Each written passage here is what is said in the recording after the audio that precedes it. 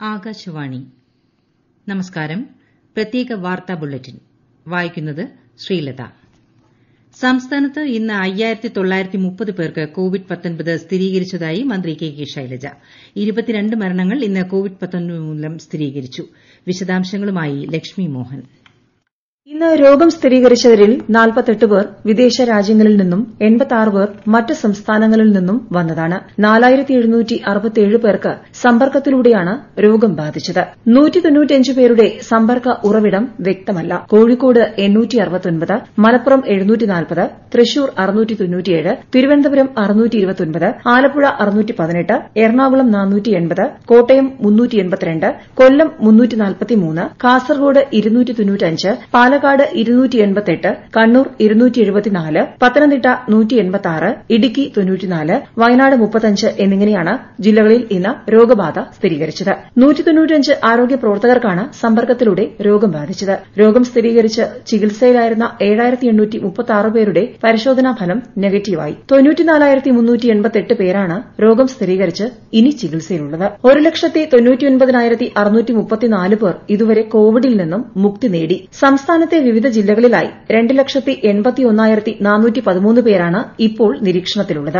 ഇന്ന് മൂന്ന് പുതിയ ഹോട്ട്സ്പോട്ടുകളാണുള്ളത്. തൃശൂർ ജില്ലയിലെ തളിക്കുളം കണ്ടെയ്ൻമെന്റ് സോൺ വാർഡ് എട്ട് കൊല്ലം ജില്ലയിലെ മയ്യനാട് പതിനാല് മലപ്പുറം ജില്ലയിലെ കീഴുപറമ്പ് എട്ട് എന്നിവയാണ് പുതിയ ഹോട്ട്സ്പോട്ടുകൾ. അഞ്ച് പ്രദേശങ്ങളെ ഹോട്ട്സ്പോട്ടിൽ നിന്നും ഒഴിവാക്കിയിട്ടുണ്ട്. ഇതോടെ ആകെ ഹോട്ട്സ്പോട്ടുകളാണുള്ളത്. News desk Akashvani. കോവിഡ് ആശുപത്രികളിൽ ചികിത്സയിലുള്ള പരിചരണം ആവശ്യമുള്ള രോഗികൾക്ക് കൂട്ടിരിപ്പുകാരെ അനുവദിക്കാൻ നിർദ്ദേശം നൽകിയതായി മന്ത്രി കെ കെ ശൈലജ. കോവിഡ് ബോർഡിന്റെ നിർദ്ദേശാനുസരണം സൂപ്രണ്ടുമാർ പരിചരണം ഉറപ്പാക്കാനുള്ള ക്രമീകരണം നടത്തണമെന്നും മന്ത്രി വ്യക്തമാക്കി. രോഗിയുടെ അവസ്ഥയും സഹായത്തിന്റെ ആവശ്യകതയും മനസ്സിലാക്കി ആവശ്യമുള്ള കേസുകളിലാണ് സൂപ്രണ്ടുമാർ കൂട്ടിരിപ്പുകാരെ അനുവദിക്കുന്നത്.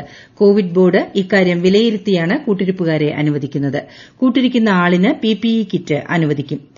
കൂട്ടിരിക്കുന്നയാൾ മാനദണ്ഡങ്ങൾ കൃത്യമായി പാലിക്കണമെന്നും നിർദ്ദേശിച്ചിട്ടുണ്ട്.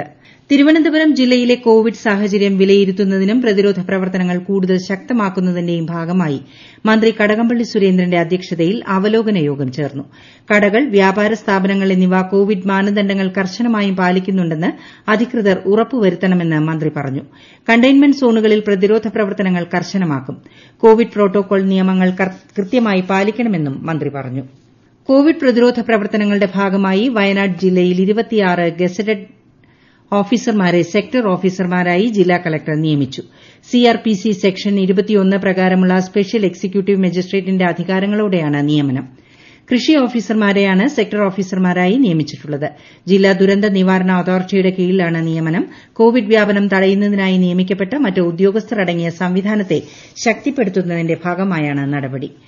കോഴിക്കോട് ജില്ലയിൽ കോവിഡ് രോഗവ്യാപനം വളരെ ഗുരുതരമായ ഘട്ടത്തിലേക്ക് കടക്കുന്നതായി ജില്ലാ ഭരണകൂടത്തിന്റെ വിലയിരുത്തൽ. കഴിഞ്ഞ നാലാഴ്ചകളിലായി ജില്ലയിലെ കോവിഡ് സാഹചര്യം സുസൂക്ഷ്മം നിരീക്ഷിച്ചു വരികയാണ്. കോവിഡ് കേസുകളിൽ ക്രമാതീതമായ വർധനവാണ് ജില്ലയിൽ രേഖപ്പെടുത്തുന്നത്. കോവിഡ് പോസിറ്റീവ് കേസുകളുടെ എണ്ണം അനുദിനം വർദ്ധിക്കുന്നതായും ജില്ലാ ഭരണകൂടം വിലയിരുത്തി. കോഴിക്കോട് ജില്ലയിൽ ഇന്ന് പേർക്ക് കോവിഡ് സ്ഥിരീകരിച്ചു. പേരുടെ ഉറവിടം വ്യക്തമല്ല. സമ്പർക്കം വഴി പേർക്കാണ് രോഗം ബാധിച്ചത്. ചികിത്സയിലുള്ള കോഴിക്കോട് സ്വദേശികളുടെ എണ്ണം ആയി പത്ത് ആരോഗ്യ പ്രവർത്തകർക്കും കോവിഡ് സ്ഥിരീകരിച്ചിട്ടുണ്ട്. വിദേശത്ത് നിന്ന് എത്തിയ ഒരാൾക്കും ഇതര സംസ്ഥാനങ്ങളിൽ നിന്ന് എത്തിയവരിൽ ഏഴ് പേർക്കുമാണ് പോസിറ്റീവായത്. പേർ രോഗമുക്തി നേടി. നിരോധനാജ്ഞ ലംഘിച്ചതിന് സംസ്ഥാനത്ത് ഇന്ന് കേസുകൾ രജിസ്റ്റർ ചെയ്തു. പേർ അറസ്റ്റിലായി. കോവിഡ് നിയന്ത്രണങ്ങൾ ലംഘിച്ചതിന് സംസ്ഥാനത്തൊട്ടാകെ ഇന്ന് പേർക്കെതിരെ കേസെടുത്തു. ഇന്ന് അറസ്റ്റിലായത് പേരാണ്. വാഹനങ്ങളും പിടിച്ചെടുത്തു. മാസ്ക് ധരിക്കാത്ത സംഭവങ്ങളാണ് സംസ്ഥാനത്ത് ഇന്ന് റിപ്പോർട്ട് ചെയ്തത്. ക്വാറന്റൈൻ ലംഘിച്ചതിന് നാല് കേസുകളും രജിസ്റ്റർ ചെയ്തു.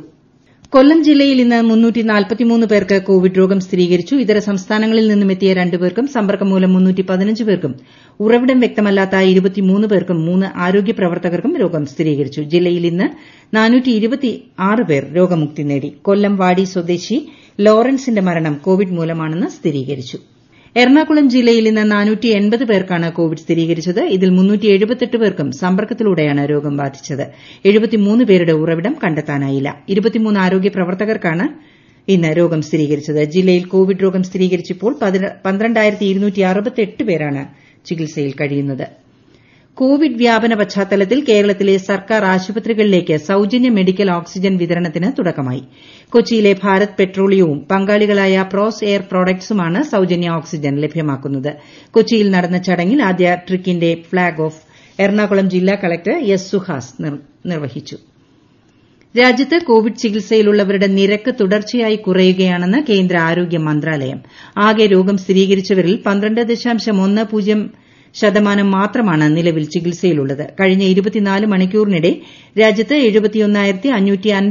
പേർ സുഖം പ്രാപിച്ചു. പുതുതായി രോഗം സ്ഥിരീകരിച്ചവരുടെ എണ്ണം ആണ് ദേശീയ തലത്തിൽ കോവിഡ് രോഗമുക്തി നിരക്ക് ശതമാനമായി വർദ്ധിച്ചു. ലോകത്ത് കോവിഡ് സ്ഥിരീകരിച്ചവരുടെ എണ്ണം മൂന്ന് കോടി ലക്ഷം കടന്നു. പത്ത് ലക്ഷത്തി എൺപത്തിയൊന്നായിരത്തിലധികം പേരാണ് ഇതുവരെ മരിച്ചത്. രണ്ട് കോടി എൺപത്തിമൂന്ന് ലക്ഷത്തിലധികം പേർ രോഗമുക്തി നേടി. കോവിഡ് രോഗികൾ ഏറ്റവും കൂടുതലുള്ള അമേരിക്കയിൽ രോഗം സ്ഥിരീകരിച്ചവരുടെ എണ്ണം ലക്ഷം കവിഞ്ഞു. അന്താരാഷ്ട്ര ദുരന്ത ലഘൂകരണ ദിനത്തിൽ ദുരന്ത നിവാരണത്തിന് ജനകീയ പദ്ധതിയുമായി വയനാട് ജില്ലാ ഭരണകൂടം മാതൃകയാവുന്നു. കേരളത്തിൽ ആദ്യമായി ഒരു ജില്ല സമ്പൂർണമായി വിഭവ ദുരന്ത മാപ്പിംഗ് തയ്യാറാക്കുന്നതിനുള്ള പദ്ധതി ജില്ലയിൽ നാളെ ആരംഭിക്കും. ജില്ലയിലെ മുഴുവൻ സർക്കാർ സ്ഥാപനങ്ങൾ വീടുകൾ റോഡുകൾ സ്വകാര്യ സ്ഥാപനങ്ങൾ ജലസ്രോതസ്സുകൾ കാട് മലകൾ ദുരന്ത സാധ്യതയുള്ള പ്രദേശങ്ങൾ തുടങ്ങിയവ മാപ്പത്തോൺ കേരളം എന്ന ഓപ്പൺ സ്ട്രീറ്റ് മാപ്പിംഗ് വഴി അടയാളപ്പെടുത്തും. ആലപ്പുഴ ജില്ലയിൽ ഇന്ന് പേർക്ക് കോവിഡ് സ്ഥിരീകരിച്ചു. ഒരാൾ വിദേശത്തു നിന്നും ഏഴ് പേർ മറ്റ് സംസ്ഥാനങ്ങളിൽ നിന്നും വന്നവരാണ്. അഞ്ച് ആരോഗ്യ പ്രവർത്തകർക്ക് രോഗം സ്ഥിരീകരിച്ചിട്ടുണ്ട്. പേർക്ക് സമ്പർക്കത്തിലൂടെയാണ് രോഗം ബാധിച്ചത്. പേരുടെ സമ്പർക്ക ഉറവിടം വ്യക്തമല്ല. കോഴിക്കോട് ബൈപ്പാസ് ആറുവരിപ്പാത ഉൾപ്പെടെയുള്ള കേന്ദ്ര ഉപരിതല ഗതാഗത വകുപ്പ് ഫണ്ട് അനുവദിച്ച കേരളത്തിലെ എട്ട് പദ്ധതികളുടെ ശിലാസ്ഥാപനവും കഴക്കൂട്ടം മുക്കോല പദ്ധതിയുടെ ഉദ്ഘാടനവും നാളെ കേന്ദ്രമന്ത്രി നിതിൻ ഗഡ്കരി വീഡിയോ കോൺഫറൻസ് വഴി നിർവഹിക്കും. കോഴിക്കോട് ബൈപ്പാസിന്റെ കോടി രൂപ ഉൾപ്പെടെ കോടി രൂപയുടെ പദ്ധതികളാണ് ഇവ. ഈ വർഷത്തെ നവരാത്രി ഘോഷയാത്ര ആചാരപരമായി കോവിഡ് പ്രോട്ടോകോൾ പാലിച്ച് നടത്തും. നവരാത്രി ഘോഷയാത്രയുടെ നടത്തിപ്പ് ചർച്ച ചെയ്യുന്നതിനായി മന്ത്രി കടകംപള്ളി സുരേന്ദ്രന്റെ അധ്യക്ഷതയിൽ ചേർന്ന യോഗത്തിലാണ് തീരുമാനം. നാളെ വിഗ്രഹങ്ങൾ ശുചീന്ദ്രത്തു നിന്നും പത്മനാഭപുരത്ത് എത്തിക്കുന്നതിനുള്ള നടപടികൾ കന്യാകുമാരി ജില്ലാ ഭരണകൂടം സ്വീകരിക്കും. പതിനാലിന് പത്മനാഭപുരത്തു നിന്നും കുഴിത്തുറയിലേക്ക് എഴുന്നള്ളത്ത് ആരംഭിക്കും. ആനയും വെള്ളിക്കുതിരയും സാധാരണ കൊണ്ടുവരുന്ന പല്ലക്കുകളും ഒഴിവാക്കാവുന്നതാണ് എന്ന് തന്ത്രിയും ബ്രാഹ്മണ സഭയും അറിയിച്ചു. വടകര ചോമ്പല ഹാർബർ കർശന നിയന്ത്രണങ്ങളോടെ പ്രവർത്തനം പുനരാരംഭിച്ചു. ജനപ്രതിനിധികളും ഉന്നത ഉദ്യോഗസ്ഥരും ഹാർബർ മാനേജ്മെന്റ് സൊസൈറ്റി ഭാരവാഹികളും ഹാർബറിലെത്തി സ്ഥിതിഗതികൾ വിലയിരുത്തി. കോവിഡ് ടെസ്റ്റിൽ നെഗറ്റീവ് ആയവരെ മാത്രമേ ഹാർബറിൽ പ്രവേശിപ്പിക്കുകയുള്ളൂ. അൻപത് ശതമാനം തൊഴിലാളികൾ മാത്രമേ തൊഴിൽ ചെയ്യാവൂ. പൊതുജനങ്ങളെ ഹാർബറിൽ പ്രവേശിപ്പിക്കുകയില്ല. ചോമ്പാൽ പോലീസിന്റെ നേതൃത്വത്തിൽ കനത്ത സുരക്ഷാ സംവിധാനം ഒരുക്കിയിട്ടുണ്ട്. ലൈഫ് മിഷനുമായി ബന്ധപ്പെട്ട് സിബിഐയുടെ അന്വേഷണം എതിർത്തുകൊണ്ടുള്ള സർക്കാരിന്റെ വാദത്തിന് ഹൈക്കോടതി നാളെ വിധി പറയും. ഇടപാടിനെക്കുറിച്ച് സിബിഐക്ക് അന്വേഷിക്കാൻ അധികാരമില്ലെന്നാണ് സർക്കാർ വാദം. സർക്കാരിന് പുറമെ യൂണിടാക്കും ഹർജി നൽകിയിരുന്നു. അൻപതാമത് കേരള ചലച്ചിത്ര പുരസ്കാര പ്രഖ്യാപനം നാളെ ഉച്ചയ്ക്ക് പന്ത്രണ്ട് മണിക്ക് മന്ത്രി എ കെ ബാലൻ മുഖ്യമന്ത്രിയുടെ മീഡിയ റൂമിൽ നിർവഹിക്കും. സെക്രട്ടേറിയറ്റ് പി ആർ ചേംബറിൽ മാധ്യമപ്രവർത്തകർക്ക് കവറേജിന് സൌകര്യമൊരുക്കും. സംസ്ഥാനത്ത് അടുത്ത ദിവസങ്ങളിൽ മഴയ്ക്ക് സാധ്യതയുണ്ടെന്ന് കാലാവസ്ഥാ നിരീക്ഷണ കേന്ദ്രം.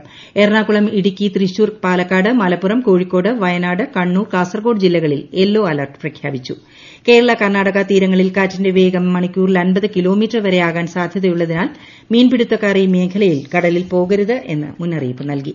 കേരളം ലോകത്തിനു മുന്നിൽ അവതരിപ്പിക്കുന്ന ജനകീയ പങ്കാളിത്തത്തോടെയുള്ള വികസന പദ്ധതിയുടെ ഏറ്റവും മികച്ച മാതൃകയാണ് പൊതുവിദ്യാഭ്യാസ സംരക്ഷണ യജ്ഞമെന്ന് മുഖ്യമന്ത്രി പിണറായി വിജയൻ. പൊതുവിദ്യാഭ്യാസ രംഗത്ത് കേരളം സമ്പൂർണ ഡിജിറ്റൽ സംസ്ഥാനമായതിന്റെ പ്രഖ്യാപനം നിർവഹിക്കുകയായിരുന്നു അദ്ദേഹം. പൊതുസംവിധാനങ്ങളിൽ നിന്ന് സർക്കാർ പിൻവാങ്ങുന്ന കാഴ്ചയാണ് ലോകമാകെയുള്ളത്. അത്തരം ഘട്ടത്തിലാണ് കേരള സർക്കാർ ഇടപെട്ട് പൊതുവിദ്യാഭ്യാസ രംഗത്ത് വലിയ മാറ്റം സാധ്യമാക്കിയിരിക്കുന്നത്.